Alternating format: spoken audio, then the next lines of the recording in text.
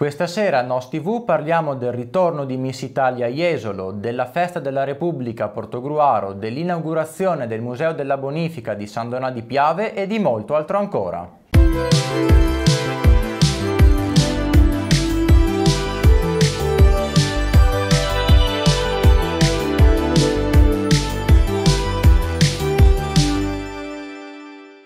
Buonasera e bentornati con un nuovo appuntamento del notiziario di Nos TV. Il ponte del Corpus Domini inaugura ufficialmente la stagione balneare 2018 in tutte le località della costa adriatica. Le spiagge saranno infatti interessate dall'arrivo, oltre che dei pendolari del weekend, anche dei turisti austriaci e tedeschi particolarmente vicini a questa festività. Per le città costiere sarà dunque il primo banco di prova per entrare poi a pieno regime dopo la fine dell'anno scolastico la prossima settimana. Traffico intenso sulle autostrade sia oggi che domani. Il tempo sarà per fortuna bello con temperature anche vicine ai 30 gradi. Aspettiamo le loro proposte e poi decidiamo. Con queste parole il sindaco di Jesolo Valerio Zoggia è tornato sul tema relativo all'eventuale presenza dell'evento Miss Italia sul litorale, previsto per il prossimo mese di settembre. Ci siederemo al tavolo con gli organizzatori, ha detto Zoggia, per capire come valorizzare al massimo questo concorso che resta una vetrina importante. Anche per quest'anno inoltre il sindaco della città metropolitana di Venezia Luigi Brugnaro parteciperà alla realizzazione. È il segnale che c'è attenzione da parte del territorio. Per noi è un motivo di orgoglio perché Venezia rappresenta un brand mondiale, una città che sa valorizzare le bellezze d'arte come nessun'altra. È chiaro che per l'anniversario degli 80 anni di Miss Italia vogliamo avere un ruolo importante. A Jesolo isola pedonale in sicurezza per tutta la stagione estiva 2018. Da lunedì inizia il posizionamento in 12 punti della barriera Jersey. Isola pedonale in sicurezza a Jesolo per tutta la stagione estiva 2018. Da lunedì infatti inizierà il posizionamento in 12 punti sensibili individuati nella zona traffico limitato delle cosiddette barriere Jersey, ossia blocchi di calcestruzzo che hanno lo scopo di rallentare la corsa dei veicoli. L'introduzione delle misure fa seguito alle linee guida della circolare ministeriale Morcone dello scorso anno in materia di safety and security e si pongono l'obiettivo di garantire la sicurezza di quei contesti in cui sia previsto un forte assembramento di persone. La necessità di proteggere l'isola pedonale che si estende per diversi chilometri lungo le strade del Lido di Jesolo è emersa in occasione del Comitato per l'Ordine e la Sicurezza Pubblica avvenuto nei mesi scorsi in prefettura a Venezia. L'operazione sarà condotta dalla società Jesolo Patrimonio e sarà completata nell'arco di qualche giorno. Il Parco Acquafollie di Caorle ha comunicato l'ampliamento della Fisherman's Bay, l'attrazione 2017 ispirata al porto veneziano con l'aggiunta di una nuova tematizzazione con elementi di ghiaccio, neve, pupazzi di neve nell'area dello scivolo Blue Tube.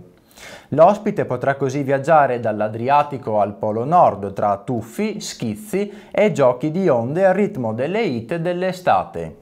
La novità è stata comunicata in occasione della giornata di apertura del parco avvenuta oggi. Acquafollie sarà aperto fino al 9 settembre. Primo weekend di giugno ricco di manifestazioni a Caorle, da non perdere il campionato italiano di giochi da tavolo ed il primo spettacolo pirotecnico dell'estate sulla piaggia della Saceta.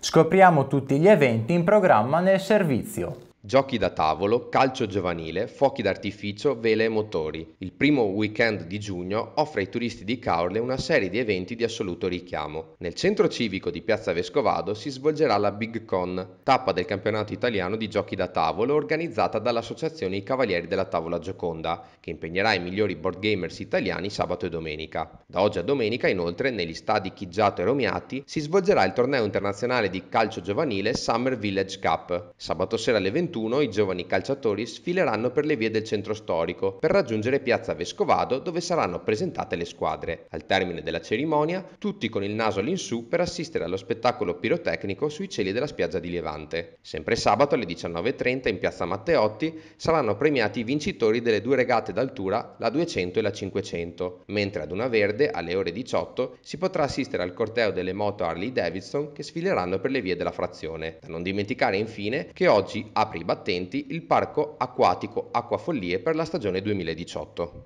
In occasione della celebrazione della Festa della Repubblica in programma domani, a Portogruaro dalle 7 sarà vietata la circolazione e la sosta in piazza San Tommaso dei Battuti per riservare gli stalli ai veicoli delle forze dell'ordine. Nelle città sulle rive dell'Emene è prevista infatti la classica manifestazione in onore della Repubblica Italiana. Dalle 7 è vietata la sosta anche nel tratto di Corso Martiri della Libertà tra la Torre di San Giovanni e via Pio X. Dalle 9 sarà interdetta anche la circolazione nel medesimo tratto e in Borgo San Giovanni. Riapertura al pubblico domani pomeriggio alle 17 del Museo della Bonifica di San Donà. All'interno della struttura saranno esposti gli studi per il nuovo logo realizzato dagli studenti dell'Istituto Volterra e i calchi della medaglia commemorativa di Ancillotto del maestro Francesco Stefan, donati al museo dal Circolo Filatelico Numismatico Sandonatese e destinati alla sezione bellica. Alle 17.30 è inoltre in programma la visita guidata alla sezione bellica dedicata alla Grande Guerra a cura dell'Associazione Storico-Culturale Il Piave 1915-1918. Alle 18.30 esibizione del coro polifonico Voci in volo. Infine alle 19 presentazione e proiezione del cortometraggio La Divisa prodotto da Giffoni Experience e realizzato con gli studenti del San Donà Giffoni Movie Days. A Chiesa Nuova, frazione di San Donà di Piave, è stata ripristinata in questi giorni l'illuminazione pubblica dopo alcuni giorni di lavoro con la sostituzione di un lungo tratto di cavo elettrico. L'intervento è stato reso difficoltoso da un inconveniente inaspettato alcuni pozzetti con tombino in ghisa che servono proprio per poter intervenire in caso di guasto erano stati coperti di asfalto in occasione di precedenti restauri. Solo una volta trovato e riaperto uno dei pozzetti è stato possibile intervenire risolvendo anche alcune infiltrazioni d'acqua nell'impianto. Questi interventi di manutenzione straordinaria dovrebbero risolvere definitivamente i problemi di sospensione dell'illuminazione. La cantina dei talenti di San Donà di Piave è ufficialmente di proprietà del comune. È infatti stato firmato il rogito con la cantina sociale che porta all'acquisizione da parte del comune dello storico edificio realizzato nel 1932 in via Pralungo, cardine della Porta del Nord. Mettendo quindi un punto fermo sul percorso che nell'arco del 2018 darà avvio ai lavori per concludersi nel 2020, proiettando San Donà come hub fondamentale in ottica della città metropolitana. L'edificio, tra i più significativi esempi di architettura industriale del territorio, attualmente degradato, diventerà un contenitore di funzioni relative all'agroalimentare, ma anche all'innovazione, al co-working e agli eventi. Importante riconoscimento per Sandona di Piave, che anche per il prossimo biennio 2018-2019 potrà fregiarsi del titolo di città che legge. Vediamo i dettagli nel prossimo servizio. Sandona di Piave si conferma città che legge. Anche per il biennio 2018-2019 la città si potrà fregiare dell'ambito titolo, assegnato solo a 441 dei quasi 8.000 comuni italiani, tra essi per l'appunto Sandona di Piave, che ottiene per la seconda volta tale prestigioso riconoscimento dal Centro per il Libro e la Lettura, istituito dal MIBACT, il Ministero dei Beni Culturali. Sandona si è candidata con le attività di promozione del libro e della lettura della biblioteca civica della Casa del Bambino, che costantemente nel corso dell'anno, dai più piccoli agli adulti, offrono un'ampia offerta culturale. Il sistema bibliotecario sandonatese conta infatti più di 60.000 volumi, di cui circa un terzo per ragazzi, circa 1.000 DVD, 6.000 pezzi del deposito legale, 500 audiolibri per non vedenti, 600 CD.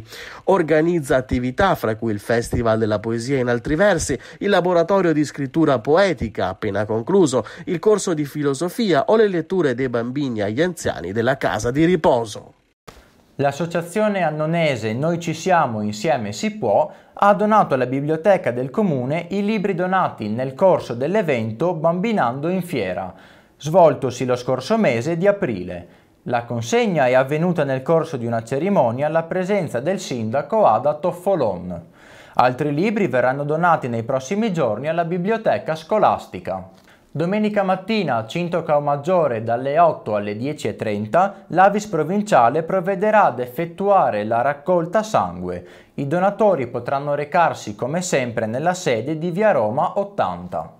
Martedì 5 giugno a Pramaggiore alle 20.45 nella sala riunioni del centro civico in piazza Libertà 48 è in programma un incontro con Beppino Englaro e Pierluigi Di Piazza, coautori del libro Vivere e morire con dignità. L'ingresso è libero. E questa era la nostra ultima notizia. Al prossimo appuntamento del notiziario di NOS TV lunedì 4 giugno.